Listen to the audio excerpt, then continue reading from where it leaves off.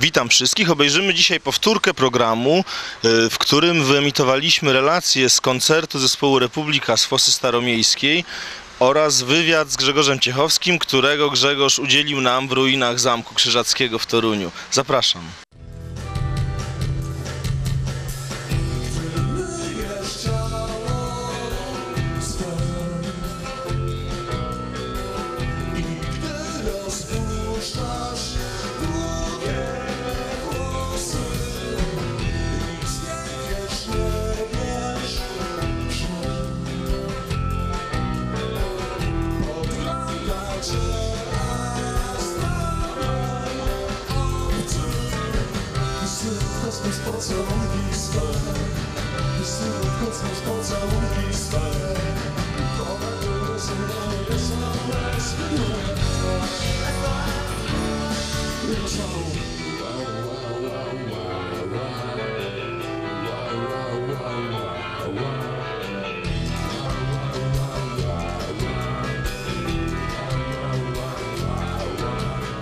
Najważniejsze momenty w ciągu tych 20 lat, oczywiście nie sposób ich wymienić wszystkich, ale myślę, że było kilka bardzo ważnych. To był pierwszy koncert w Odnowie e, w kwietniu 1981 roku.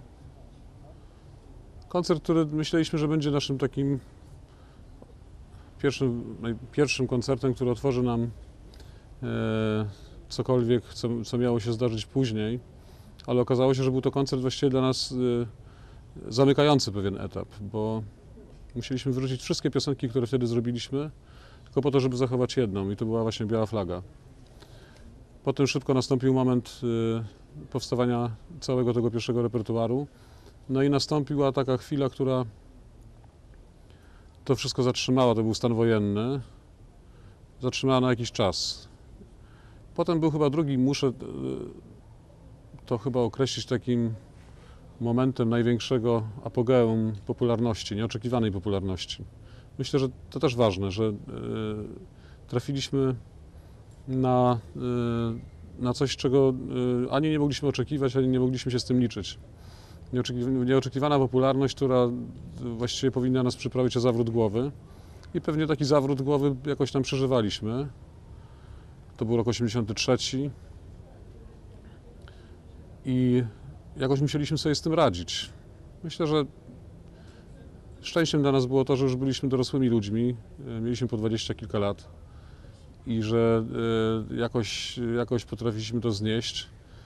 E, Niemniej jednak nie, nie byliśmy w stanie się ustrzec tego wszystkiego, co spotykało wiele zespołów w tamtych latach. Mianowicie jakiegoś takiego kryzysu, nie tylko artystycznego, ale kryzysu we wzajemnym byciu ze sobą. Wysyłam w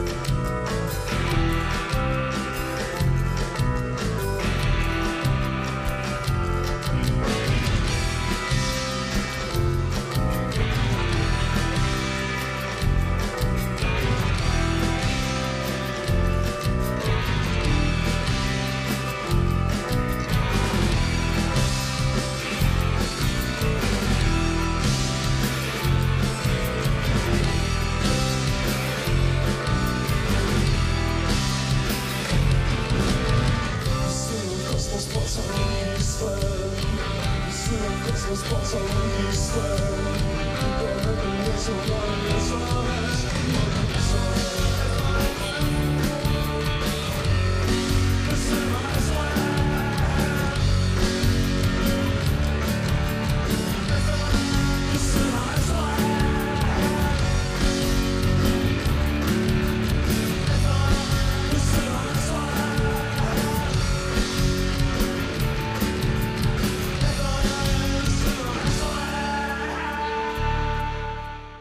takim następnym, n- najważniejszym momentem e, to był oczywiście moment naszego rozstania w 1986 roku latem, kiedy mieliśmy nagrywać trzecią płytę. Okazało się, że to była pierwsza płyta e, Obywatela GC, pod takim pseudonimem potem występowałem. I, I to był też dla mnie taki bardzo ważny etap. Chłopaki przeżywali swoje ważne rzeczy, bo nagrywali, y, przeżywali swoje historie muzyczne. Z Robertem Gawlińskim nagrali materiał na płytę, y, który ukazał się znacznie później y, z operą. Tymczasem ja robiłem swoje rzeczy i myślę, że potem najważniejszym etapem y, w naszej historii dwudziestoletniej to był y, koncert, który zagraliśmy w Opolu w roku 90. Koncert, który podsumowywał lata 80. w muzyce rockowej i udało mi się zaprosić chłopaków do takiego, wtedy myślałem, że incydentalnego koncertu, a okazało się, że ten koncert spowodował, że wróciliśmy do siebie. Także w tej chwili nazywamy ten okres czterech lat, kiedy nie byliśmy razem, tak dosyć eufemistycznie okresem separacji. E, okazało się, co było najważniejsze w tym spotkaniu ponownym, że jednak e, emocje są najważniejsze, że ja naprawdę miałem duże szczęście do muzyków, kiedy grałem jako obywatel GC, grałem z, ze wspaniałymi muzykami, ale nic nie było w stanie zastąpić tego, co jest w zespole najistotniejsze według mnie, czyli e, krańcowych emocji, które temu zespołowi się poświęca. I wydaje mi się, że Republika jest takim właśnie zespołem.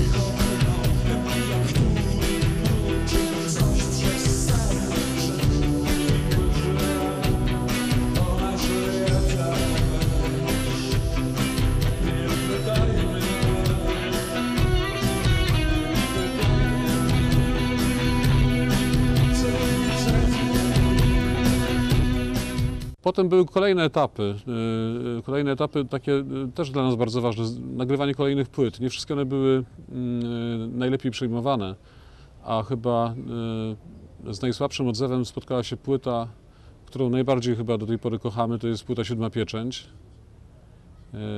I, I sądzę, że to była dla nas wielka próba, bo byliśmy przekonani, że mamy w dyspozycji materiał piękny, a był to materiał zupełnie niezrozumiały przez, yy, i przez fanów Republiki, i w ogóle przez młodą publiczność, która już się pojawiła, nowa, nowa generacja właściwie publiczności. Ale te nauki jakoś tam nie szły, wydaje mi się, na marne, bo myśmy jak z takim dosyć dużym yy, yy, przekonaniem o słuszności sprawy drążyli cały czas ten sam chodnik i w końcu udało nam się przejść na drugą stronę tej góry. Myślę, że tym kolejnym etapem była płyta Masakra, która pokazała nam, że jednak warto być razem i że ciągle opowiadamy jakieś nowe rzeczy, które mimo, że y, korzystają z tego samego zbioru y, y, nie wiem, stylistycznego, słów, z tej samej kolorystyki w muzyce, jest to Republika, to jednak ciągle opowiadamy nowe historie i to wypełniło mnie takim głębokim przekonaniem, że kolejne płyty też mają sens.